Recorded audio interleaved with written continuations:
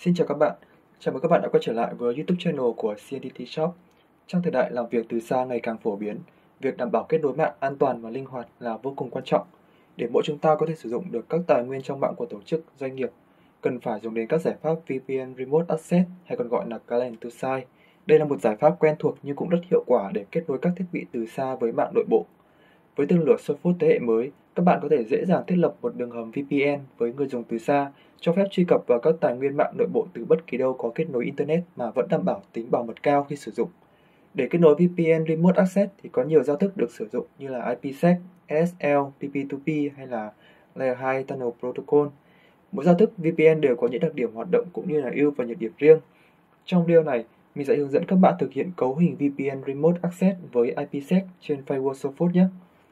IPsec là một giao thức phổ biến thường được sử dụng để thiết lập kênh truyền VPN an toàn. Giao thức này được sử dụng các thuật toán mã hóa và xác thực hiện đại, tính bảo mật cao giúp bảo vệ dữ liệu trên kênh truyền VPN khỏi các nguy cơ bị tấn công và xem trộn một cách hiệu quả. Phần tiếp theo mình sẽ đi vào một mô hình cụ thể để cấu hình nhé. Trong bài hướng dẫn này, mình sẽ sử dụng một mô hình kết nối phổ biến đó là dùng firewall làm gateway để kết nối với Internet từ nhà mạng. Bên dưới thì gồm có các switch và end device. Dàn mạng LAN thì mình sẽ đặt là 172.16.16.0 số 24. Dàn mạng cho VPN tunnel là 10.10.100.0 số 24 và mình sẽ gán IP cho người dùng trong giải này. IP của cổng WAN tức là port B, mình sẽ đặt là 192.168.11.44. Tuy nhiên thì đây là mình thực hiện mô phỏng trong Pnet Lab, cho nên là mình có thể đặt IP tùy ý. Trong thực tế thì các bạn cần quay PPOE trên cổng này để nhận IP WAN từ nhà mạng.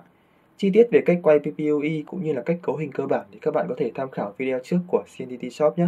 Mình sẽ để đường link bên dưới phần mô tả. Về trình tự các bước cấu hình thì các hãng firewall thường có logic cấu hình giống nhau. Về cơ bản thì các bạn sẽ cần phải thực hiện theo các bước như sau. Bước 1 là tạo user và group cho người dùng VPN.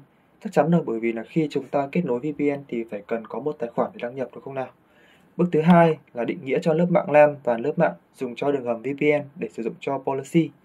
Tiếp theo là tạo profile cho VPN để gán IP cho người dùng, cũng như là lựa chọn thuật toán mã hóa, xác thực và loại tunnel vân vân. Kế tiếp là tạo các policy để cho người dùng có thể truy cập được vào trong mạng LAN. Và cuối cùng là tải và sử dụng phần mềm VPN cho client.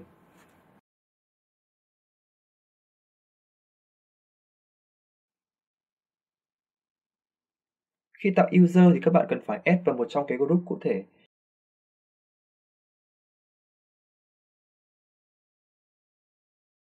Mặc định trên Sophos thì đã có các group default, tuy nhiên thì các bạn nên tạo một group riêng để dễ quản lý.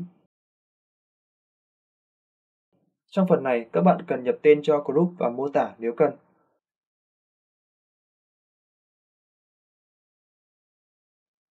Mục group type thì các bạn chọn là normal. Mục serving quarter, các bạn chọn thời gian và chu kỳ truy cập có hiệu lực. Ở đây thì mình sẽ chọn là Unlimited Internet Access để truy cập không bị giới hạn. Ngoài ra, các bạn cũng có thể add thêm thời gian theo mục đích riêng.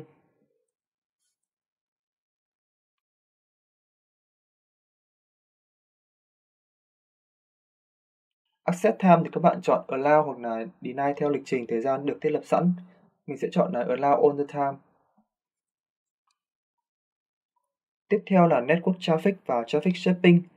Hai mục này sẽ chỉ định lưu lượng tối đa được truy cập trong một khoảng thời gian và giới hạn băng thông cho upload hoặc là download. Ở đây thì mình sẽ không thiết lập các chính sách này nên là mình sẽ để là none. Còn lại các tùy chọn bên dưới thì các bạn chỉ cần để theo mặc định và chọn Save để lưu lại. Sau khi tạo xong group thì các bạn chuyển sang tab User và chọn Add. Để tạo user, đầu tiên là nhập tên cho user đăng nhập.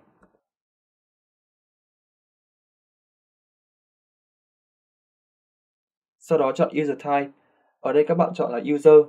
Còn nếu muốn user này có quyền login vào firewall để quản trị, thì có thể chọn type là administrator.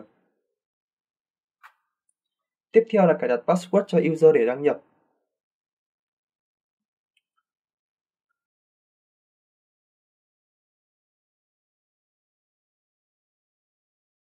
Và cuối cùng là gán vào group mà các bạn vừa tạo. Sau đó nhấn Save để lưu lại.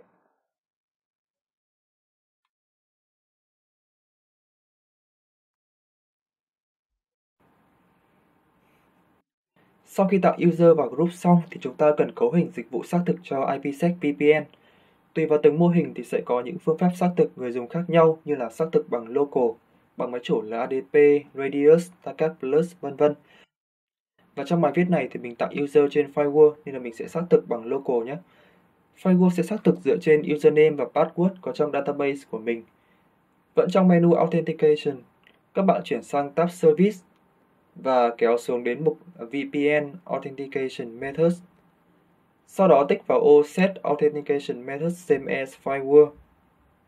Tích vào Local và ấn Apply là được.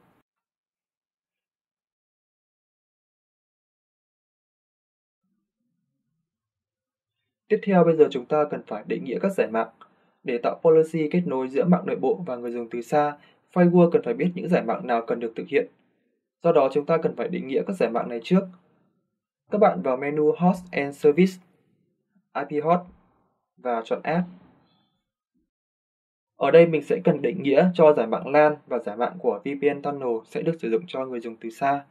Với mô hình có nhiều VLAN thì các bạn cũng tạo các định nghĩa tương ứng với các VLAN mà các bạn muốn truy cập nhé. Trước hết là định nghĩa giải mạng LAN. Mình sẽ đặt cho nó một cái tên là LAN subnet.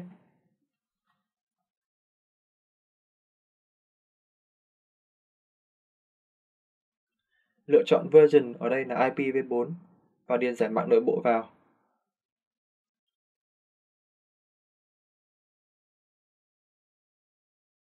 Để chọn định nghĩa được một giải mạng, các bạn chọn type là network. Ngoài ra còn có ba tùy chọn khác để các bạn định nghĩa, đó là IP, dùng để xác định một host cụ thể, IP range, xác định một giải IP cụ thể, và IP list là xác định một danh sách các IP. Sau khi tạo xong thì các bạn nhấn Save để lưu lại.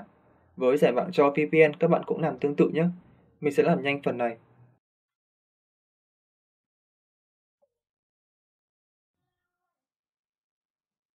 Bước tiếp theo là tạo profile cho kết nối VPN.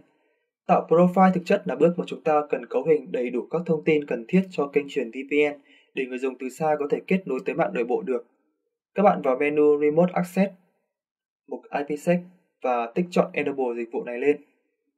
Trong mục General Setting, các bạn cần điền các thông tin như sau. Interface, các bạn chọn cổng WAN kết nối ra Internet. Mục IPsec Profile sẽ bao gồm các thuật toán mã hóa và xác thực cho dữ liệu. Trên Firewall Sophos thì cũng có sẵn một số profile mặc định mà các bạn hoàn toàn có thể sử dụng. Mình sẽ chọn là Default Remote Access với thuật toán mặc định được sử dụng là AES256 và SHA2. Đây cũng là thuật toán mã hóa và xác thực rất là an toàn hiện nay rồi. Các bạn cũng có thể xem thông tin về profile này trong menu Profiles và chọn mục IPsec Profile, cũng như là tạo mới một profile khác với thuật toán theo ý mình.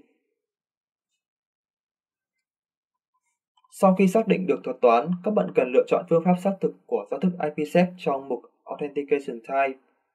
Firewall Support cung cấp hai phương thức xác thực cho IPsec đó là Pre-Share Key và Digital Certificate hay còn gọi là chứng chỉ số. Với xác thực bằng chứng chỉ số thì các bạn cần tạo một certificate trước. Mình sẽ hướng dẫn chi tiết về phương pháp này trong những bài viết tiếp theo nhé. Ở đây mình sẽ sử dụng là Pre-Share Key. Và ở dòng Pre-Share Key bên dưới các bạn sẽ nhập key mà mình muốn tạo vào. Lưu ý là key này sẽ là một chuỗi ký tự bao gồm cả chữ, số và ký tự đặc biệt. Do đó nếu mà các bạn chỉ nhập chữ hoặc là số thì sẽ không thể lưu cấu hình phần này được. Local ID thì các bạn chọn IP address với IP của cổng quan nhé. Sau đó chọn group user đã tạo ở bước trên để xác thực kết nối. Phần tiếp theo bên dưới là Client Information. Việc quan trọng nhất trong phần này là các bạn sẽ gán IP cho user muốn kết nối VPN. Trong mục Assign IP From, ở đây mình sẽ chọn giải IP nằm trong subnet là 10.10.100.0 số 24 đã quy hoạch từ trước. User khi kết nối sẽ được cấp IP này và có thể hoạt động trên kênh truyền VPN. Tiếp theo là DNS Server. Các bạn cũng cần lưu ý lựa chọn cấp IP của DNS Server cho user để phân giải tên miền. Đặc biệt là với loại kết nối full tunnel, nếu user không nhận được DNS sẽ không thể truy cập được các trang web trên Internet. Bên dưới mục Idle Time, các bạn có thể enable nó lên để VPN tự động ngắt kết nối khi mà không có traffic đi qua. Cùng với đó là ngưỡng thời gian để firewall biết sau bao lâu thì có thể đóng kết nối. Cuối cùng là phần Advanced Setting. Đây cũng là một phần khá quan trọng trong bước này. ở mục Use Air Default Gateway, nếu các bạn muốn tất cả các traffic truy cập tài nguyên nội bộ và truy cập Internet đều đi qua Sophos theo kiểu full tunnel thì enable mục này lên. Còn mặc định là disable thì traffic sẽ đi theo kiểu split tunnel, tức là dữ liệu truy cập Internet vẫn đi qua modem của nhà bạn. Permitted Network Resource IPv4 sẽ cho phép user truy cập được vào tài nguyên của những giải mạng nội bộ nào. Ở đây mình sẽ chọn Network là LAN như đã định nghĩa từ trước. Bên dưới là những tùy chọn cấu hình thêm. Các bạn có thể enable các tính năng như là Send Security Heartbeat Through Tunnel để đảm bảo kết nối an toàn và có hành động nhanh chóng khi sự cố xảy ra. Cho phép lưu username, password cho những lần đăng nhập tiếp theo, hoặc là cho phép xác thực hai lớp 2FA, vân vân. Sau khi cấu hình xong thì các bạn nhấn Save để lưu cấu hình.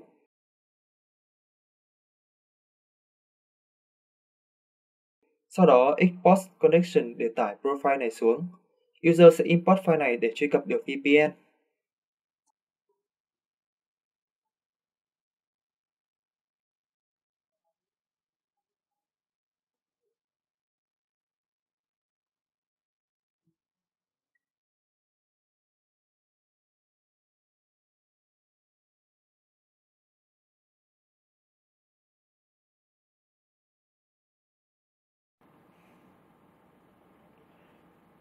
Sau khi đã định nghĩa các lớp mạng rồi thì việc chúng ta cần làm là tạo các rule hay là policy để người dùng từ xa có thể truy cập được vào các tài nguyên trọng mạng nội bộ. Các bạn vào menu Rules and Policy để tạo một rule mới.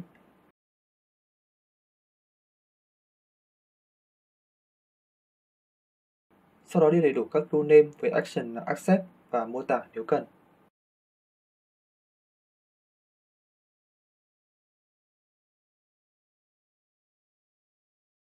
Tại mục suộc, lúc này sẽ là phía kết nối từ bên ngoài vào. Suộc zone các bạn ấn Add New Item và chọn zone là VPN. Mục suộc Network and Device thì chọn network của VPN như là mình vừa định nghĩa.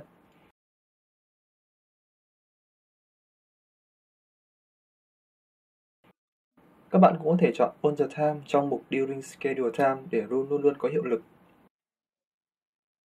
Tại mục Destination and Service, các bạn chọn zone là LAN. Destination Network, các bạn chọn giải mạng là LAN như vừa định nghĩa. Và với Service thì chúng ta có thể chọn Any cho truy phép tất cả các dịch vụ có trong mạng nội bộ. Ngoài ra thì Softfood cũng có sẵn các dịch vụ phổ biến. Các bạn có thể chọn các dịch vụ cụ thể hoặc là tạo mới để phù hợp với mục đích sử dụng.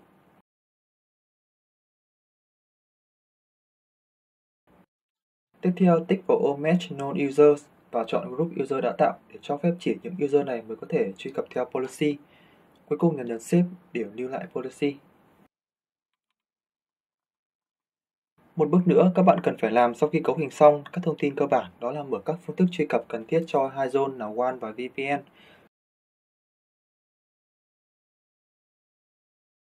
Trong menu Administration, các bạn vào phần Device Access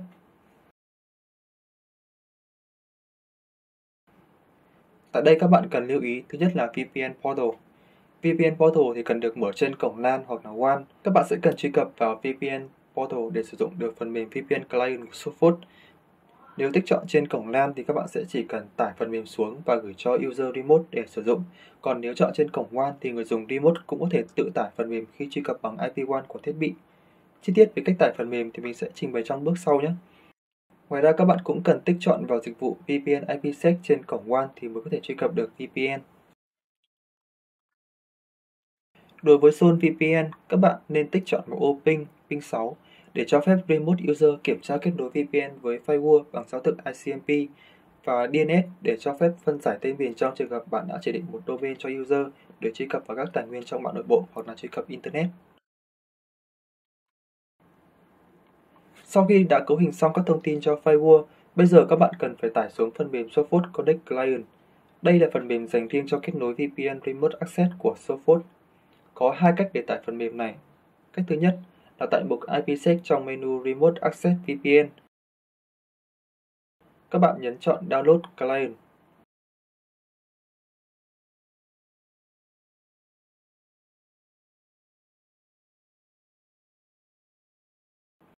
Một tông mục nến sẽ được tải xuống máy tính của bạn. Các bạn chỉ cần giải nén thư mục này ra, sẽ có hai file installer cho Windows và Mac OS.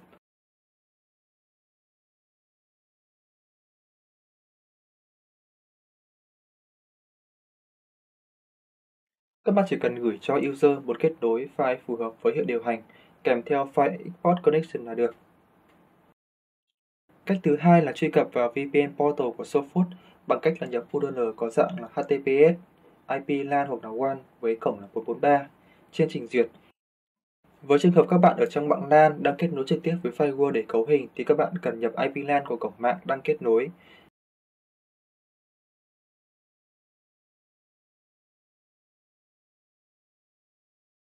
Giao diện VPN Portal sẽ hiện ra. Các bạn nhập username hoặc là password của user vừa tạo để đăng nhập. Sau đó download cho Windows hoặc là Mac OS và gửi cho user muốn kết nối, tương tự như là cách 1. Trường hợp mà user muốn tự tải xuống thì sẽ cần nhập IP1 của firewall trên trình duyệt của mình, với điều kiện là VPN Portal đã được bật trên cổng WAN trong phần Device Access.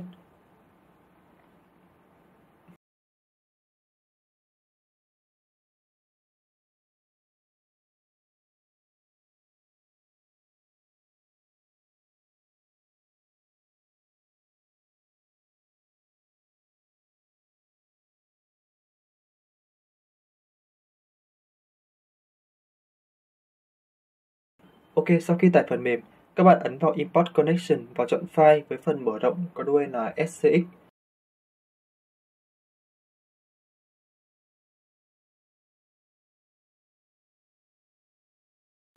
File này nằm trong thư mục mà các bạn đã Export Connection ở bước trên.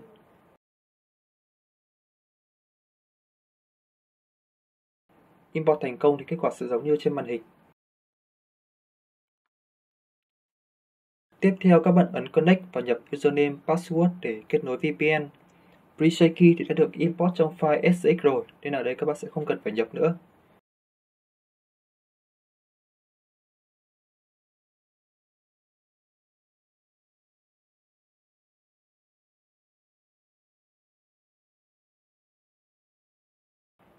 Phần mềm hiển thị Connected nghĩa là các bạn đã kết nối VPN thành công.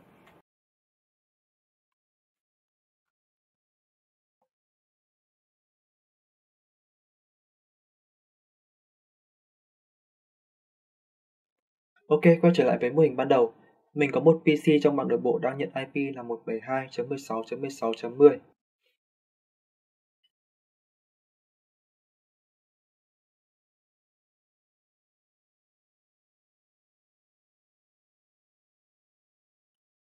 Máy tính của mình sau khi mà kết nối VPN thành công thì đã nhận IP là 10.10.100.10. Mình sẽ ping đến PC để kiểm tra xem kết nối đã thông hay chưa.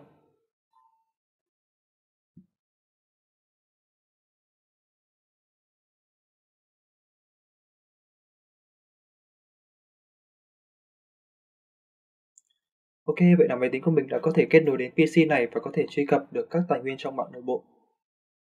Như vậy là mình đã hướng dẫn các bạn cấu hình thành công VPN Client to Site hay còn gọi là Remote Access bằng giao thức IPsec trên Firewall Sophos. Đối với các giao thức khác như là SSL, N2TP, TP2P vân vân cũng có cách làm tương tự. Mình sẽ thực hiện cho các bài viết hoặc là các video tiếp theo nhé. Nếu các bạn có thắc mắc thì hãy để lại comment bên dưới để mọi người cùng trao đổi nhé. Đừng quên like, share, subscribe để ủng hộ mình nhé. Cảm ơn các bạn đã theo dõi.